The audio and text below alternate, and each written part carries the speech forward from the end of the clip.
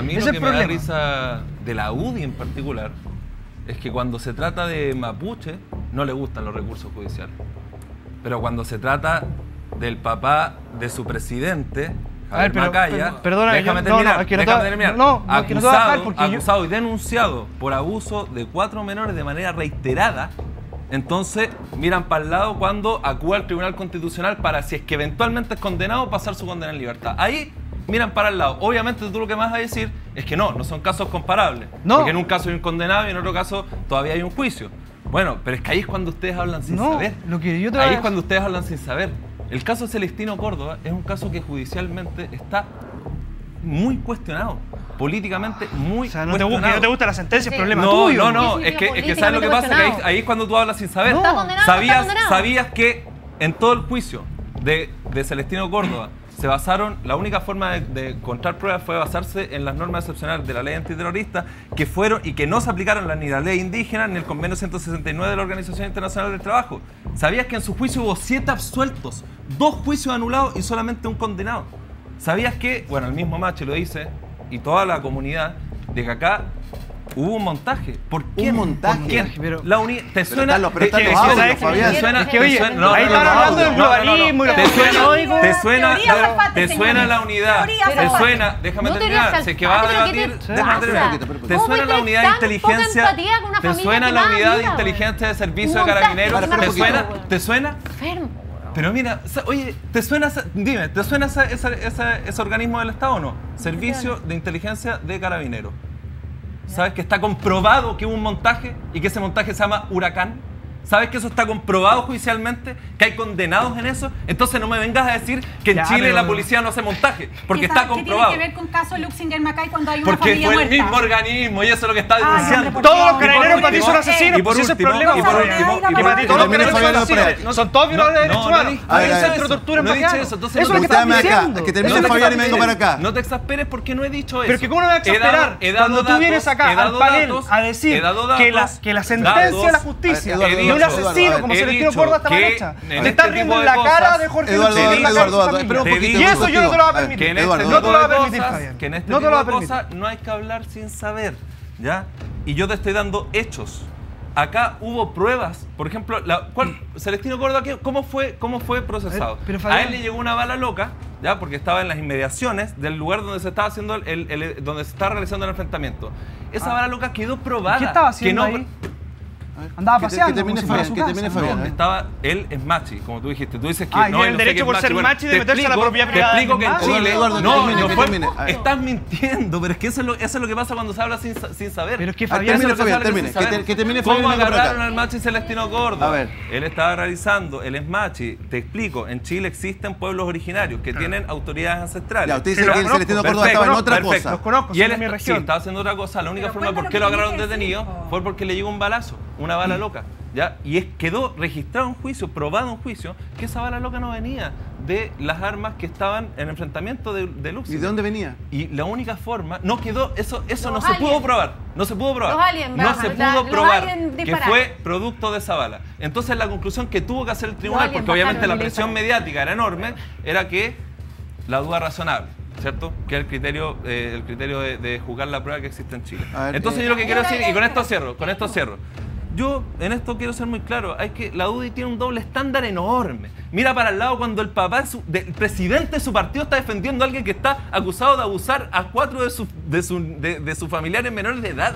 Y cuando pasa esto, ponen el grito en el cielo, cuando ponen recursos ju- judiciales para dejarlo libre, miran para el lado. Un doble estándar A ver. enorme y hablar A- sin saber. Hablemos con los antecedentes del caso. Porque no es raro y no es una extraño que en sentencia, Chile por Fabián. existan montajes judiciales como A pasó ver, en Mara, Mara Fabián, Saini, Mara Saini. Hay una no, sentencia, hay hay, una condenado. sentencia. Entonces, a ver, ¿quién, quién le tiró la bala loca? ¿Cayó el cielo? ¿Vinieron los aliens? ¿Cómo, ¿Quién los quemó? Los abogados los que no no pudieron estaban. probarlo, lo los siento. que no estaban. Lo quemaron los que no estaban.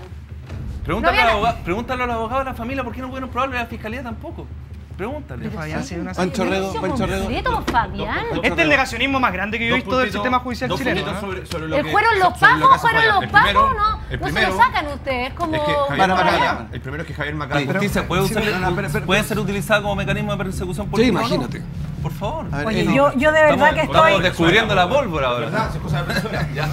Eli Rodríguez, ya muchachos, necesito ordenar el programa. Ya, Eli, Estoy acá. impresionada, impresionada por el carerrajismo, el conformismo, la poca seriedad. Estamos hablando de que, Fabián, acabas de decir que hay un montaje respecto de la muerte de dos que abuelos quemados vivos y voy a hablar yo ahora. Y tú cállate.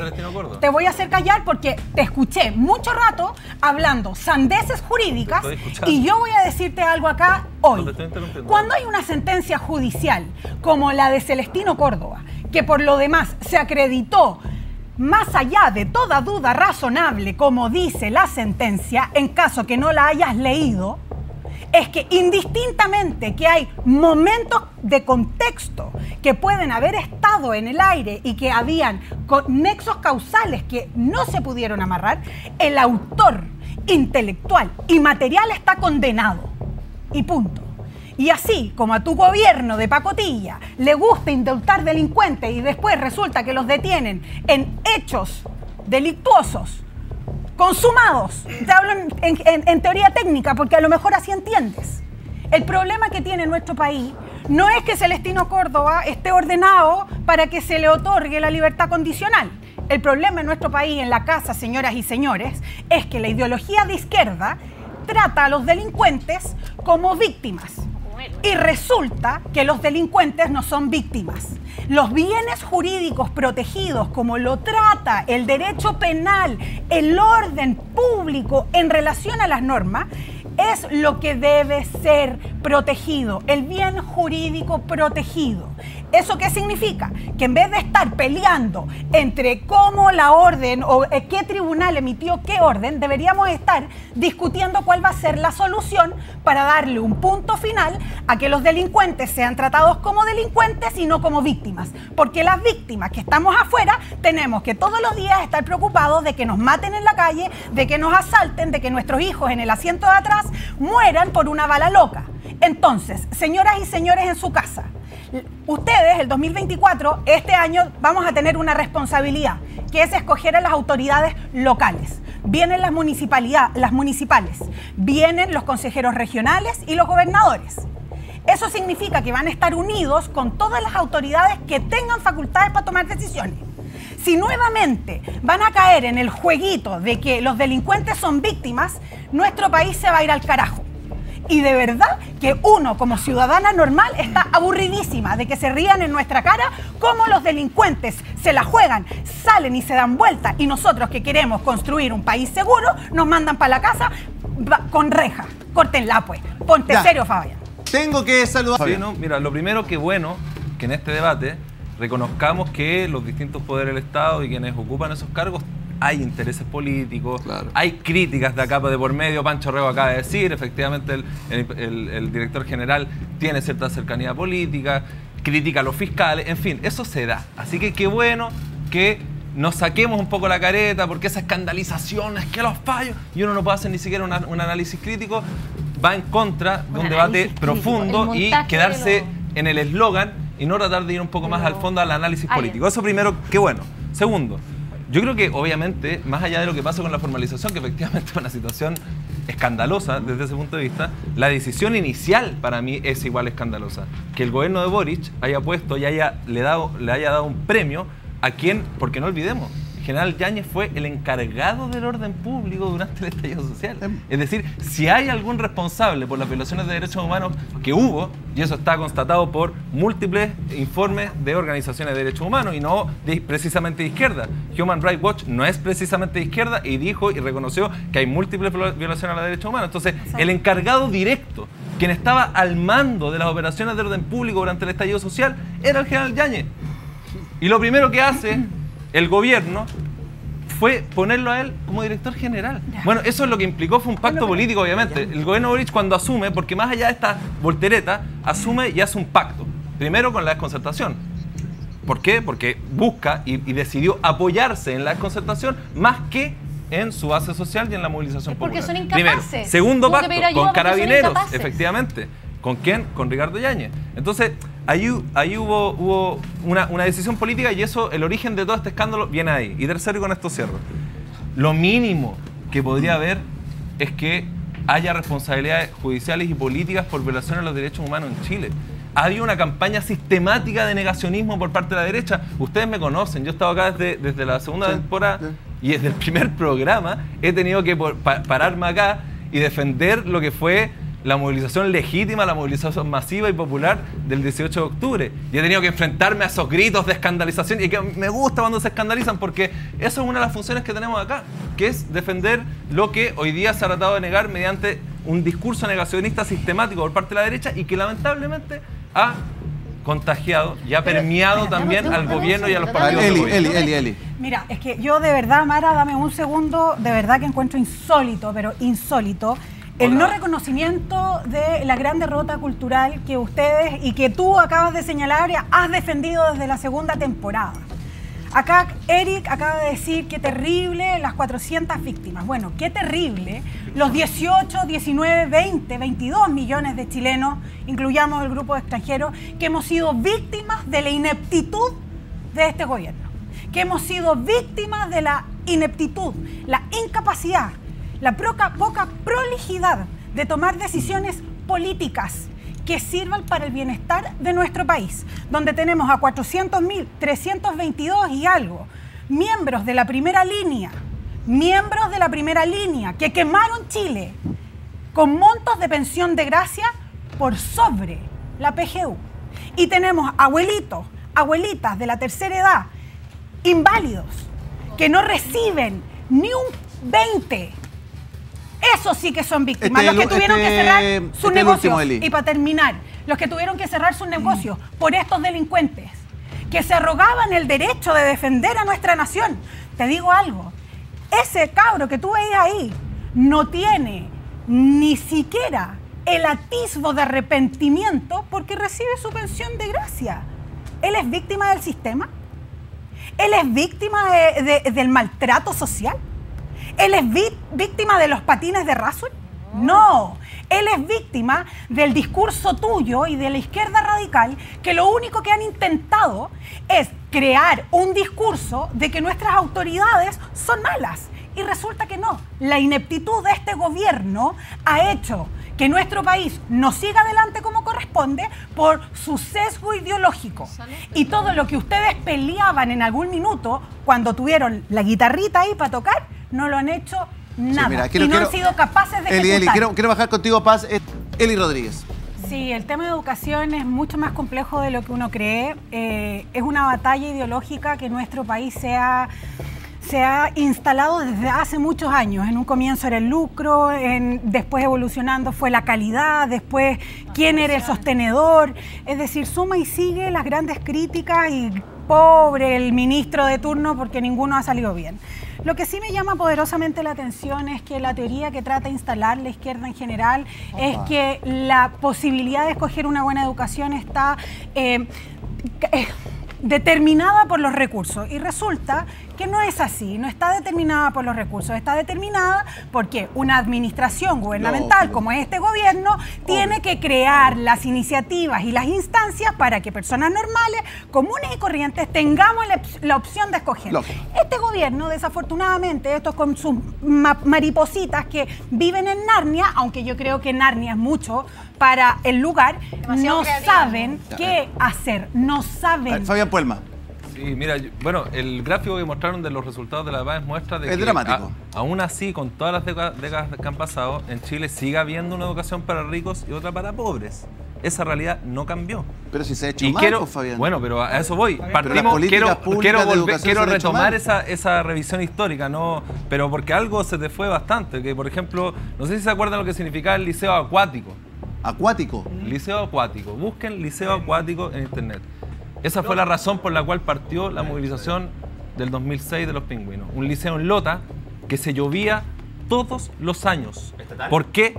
Municipal. Por no tener municipal. Por no tener justamente los recursos y por la diferencia y la segregación que existe. Ese fue el origen del movimiento estudiantil por el cual todos nosotros nos movilizamos. pero mira y cómo si no se ha resuelto el problema, pero- pero- y si no se ha resuelto pero, el problema, Fabián, ahora voy a eso. discusión Si era para mí, lucro. si no se ha resuelto el no problema, engañes, la discusión era el final. Dos casos. Fabián, que termine Dos casos. Uno, la precariedad y la segregación en la educación. Primero. Segundo, ¿cuál fue el emblema del 2011? La Universidad del Mar, institutos técnicos, liceos, li- liceos y colegios particulares subvencionados que se crean para hacer Ya, negocio pero y eso estafa. no tiene nada que ver con la ¿Por qué no, se solucionó? No, pero déjame terminar. Fabián, necesito ¿Por qué? que se apure, por Está favor. bien, termino con esto. Si no me interrumpe, termino. Si no me interrumpe, termino. Ya. No se solucionó ese tema porque no se cambió la lógica No, porque el gobierno de tuyo es así. Eli Rodríguez, muteamela. porque no se cambió, y no se, no, no se cambió la lógica que estaba detrás de las políticas, por ejemplo, la concertación. El SLEP es replicar la lógica de crear un entramado burocrático que no escucha y no decide con las comunidades educativas. Con esto cierro nomás. Lo terrible, lo terrible de lo que está pasando en Ñuñoa es que Revolución Democrática, el Frente Amplio, le está regalando en bandeja a la derecha hablar de educación pública a los profesores. Ese es el problema que hay. Entonces, Eric, Eric, no te enojes tanto. Eh, no, te Eric, mismo. le digo a él, no te enojes tanto cuando nosotros le decimos, oye, impulsemos una movilización para parar los despidos, no te enojes, no, no soy anticomunista por exigir. Marco Enrique, 30 Por segundos. favor, 30 por favor. segundos. Que la única, la única que no podía hacer mi introducción es la Carol Cariola. Que Carol Cariola no podía hacer mi introducción porque es diputada. Solo un detalle, eh, perdón, un detalle técnico. Nos tenemos que Es despedir. Eli Rodríguez. Sí, el tema de educación es mucho más complejo de lo que uno cree. Eh, es una batalla ideológica que nuestro país se ha, se ha instalado desde hace muchos años. En un comienzo era el lucro, después evolucionando fue la calidad, después quién era el sostenedor. Es decir, suma y sigue las grandes críticas y pobre el ministro de turno porque ninguno ha salido bien. Lo que sí me llama poderosamente la atención es que la teoría que trata de instalar la izquierda en general es que la posibilidad de escoger una buena educación está eh, eh, determinada por los recursos. Y resulta que no es así, no está determinada por los recursos, está determinada porque una administración gubernamental No, como este gobierno tiene que crear las iniciativas y las instancias para que personas normales, comunes y corrientes tengamos la, op- la opción de escoger. Lógico. Este gobierno, desafortunadamente, estos con sus ma- maripositas que viven en Narnia, aunque yo creo que Narnia es mucho para el lugar, Demasiado no creativa. saben qué hacer, no saben. Fabián Puelma. Sí, mira, yo- bueno, el gráfico que mostraron de los resultados de la PAES muestra de Es que dramático. a- aún así, con todas las décadas que han pasado, en Chile sigue habiendo una educación para ricos y otra para pobres. Esa realidad no cambió. Pero si se ha hecho Y mal, quiero, pues, Fabián. bueno, pero a eso voy. Partimos, políticas quiero, públicas quiero, volver- quiero retomar esa, esa revisión histórica, no, pero porque algo se te fue bastante. Que por ejemplo, no sé si se acuerdan lo que significaba el liceo acuático. Acuático. Liceo acuático. Busquen liceo acuático en internet. Esa fue la razón por la cual partió la movilización del 2006 de los pingüinos. Un liceo en Lota que se llovía todos los años. ¿Por qué? Municipal. Por no tener municipal. Por no tener justamente los recursos y por la diferencia y la segregación que existe. Ese fue el origen del movimiento estudiantil por el cual todos nosotros nos movilizamos. pero mira y si no se ha resuelto el problema, y si no se ha resuelto el problema, ahora voy a eso. discusión Si era para mí, lucro. si no se ha resuelto el no problema, engañes, la discusión era el final. Dos casos. Dos casos. Uno, la precariedad y la segregación en la educación. Primero. Segundo, ¿cuál fue el emblema del 2011? La Universidad del Mar, institutos técnicos, liceos, li- liceos y colegios particulares subvencionados que se crean para hacer Ya, negocio pero y eso estafa. no tiene nada que ver con la ¿Por qué No se solucionó? No, pero déjame terminar. Fabián, necesito que se apure, por Está bien, favor. termino con esto. Si no me interrumpe, termino. Si no me interrumpe, termino. Ya.